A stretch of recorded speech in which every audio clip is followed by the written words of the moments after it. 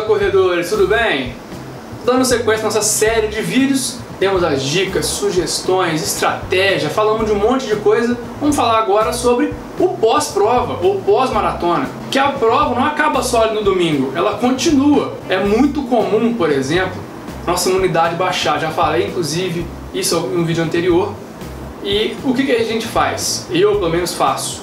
Continuo tomando minha vitamina C no pós-prova alimentação muito boa no pós-prova, hidratação muito boa no pós-prova, nos próximos dois, três dias ali, porque a gente fica debilitado, principalmente quem vai correr o desafio, vai ficar arrebentado na segunda-feira, na terça-feira. E conversando com o meu treinador, Vinícius Magalhães, que inclusive foi ele que deu essas dicas, e me passou essas dicas também, que eu vou fazer, afinal ele está me treinando. O que, que ele me disse, o que, que ele vai me passar, inclusive. Segunda-feira, zero, nada, off, a gente chama de off, para fazer nada. Nem para ganhar dinheiro você vai correr, beleza? A não ser quem, a galera de elite. Nós, meros mortais, é day off.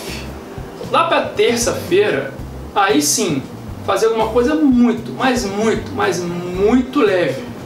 Preferencialmente algo diferente da corrida, algum estímulo diferente, como uma bike, uma natação, bem leve para evitar algum tipo de lesão, beleza? E ao longo da semana, bem devagar, voltar a rodar, mas sempre mantendo em movimento para tentar ali regenerar os nossos músculos que vão estar muito desgastados da maratona, da meia maratona e do desafio. Ah, mas a meia maratona desgasta? Claro, tem muita gente que vai estrear na meia maratona, tem muita gente que vai correr a meia maratona com o menor tempo da vida e vai ter um desgaste assim como quem vai correr a maratona. Não menospreze, não. Não ache que você vai correr a meia, que na segunda-feira você pode voltar a treinar com força total, que não é bem assim não. Beleza? Então, com cautela, para poder evitar algum tipo de lesão e continuar a correr. E logo que passar a maratona, já treinar para o próximo objetivo, sem lesão. Bem pessoal, espero que tenham gostado do vídeo.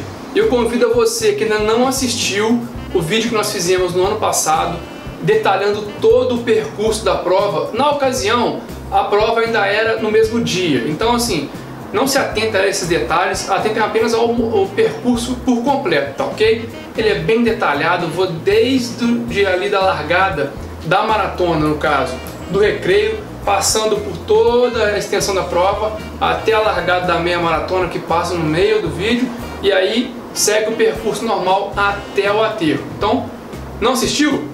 Vai lá, vou deixar inclusive o link no final desse vídeo.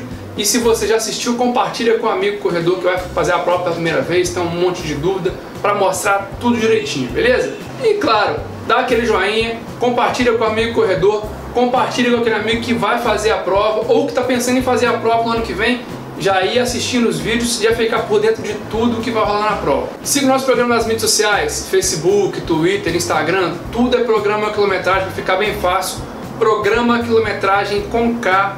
Usa a nossa hashtag no Instagram, programa quilometragem tudo junto, pra gente colocar sua foto no nosso mural de fotos semanal e dá aquela moral pra gente, se inscreve no nosso canal para que a gente possa continuar fazendo vídeos, principalmente o que é a especialidade do nosso canal, que é vídeo de dica de percurso, como esse, por exemplo. E ao se inscrever no nosso canal, marca o sininho de notificação.